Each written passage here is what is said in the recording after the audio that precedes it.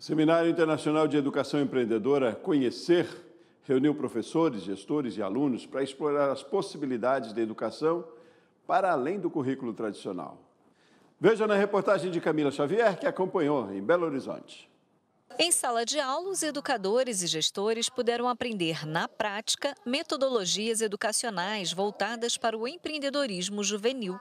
Divididos em quatro salas, eles aprenderam a trabalhar com música e dança, a desenvolver métodos de planejamento e exposição de conteúdo de maneira visual. O objetivo da alfabetização para o futuro é formar professores protagonistas por meio de metodologias ativas e da educação empreendedora. A Fabiana é responsável pelo SER, Centro Sebrae de Referência em Educação Empreendedora. Para ela, as estratégias educacionais inspiradas no empreendedorismo contribuem para a formação de jovens com uma visão de mundo mais ampliada, uma postura participativa e com objetivos de vida. Nós estamos falando de trabalhar uma educação de qualidade, transformar essa educação por meio do empreendedorismo, né?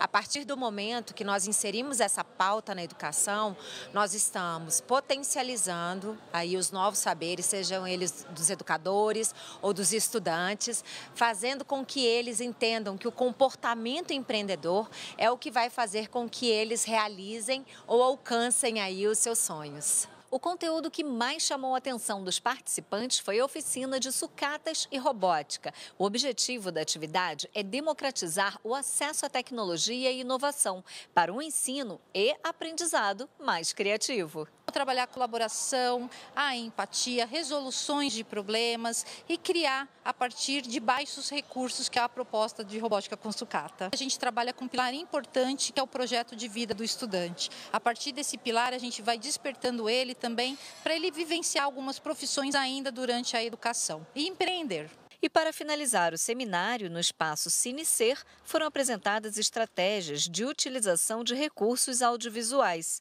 ideias que eles poderão aplicar em sala de aula nos foi apresentada uma plataforma de ser, onde tem didaticamente um vídeo que expõe sobre as, as, pontuações do filme, qual é a didática do professor, o passo a passo, como se fazer a abordagem do filme antes e depois da exibição e como que pode também trabalhar toda essa ética, qual, todos os cuidados que nós devemos ter com os filmes dentro de uma escola, né, com a abordagem com os alunos. Então, é um ensino, aprendizagem usando recursos visuais.